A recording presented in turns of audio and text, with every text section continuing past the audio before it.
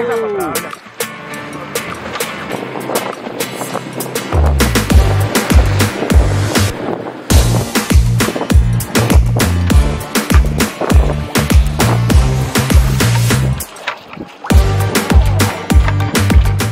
šta se je dogodilo, čemu je riš?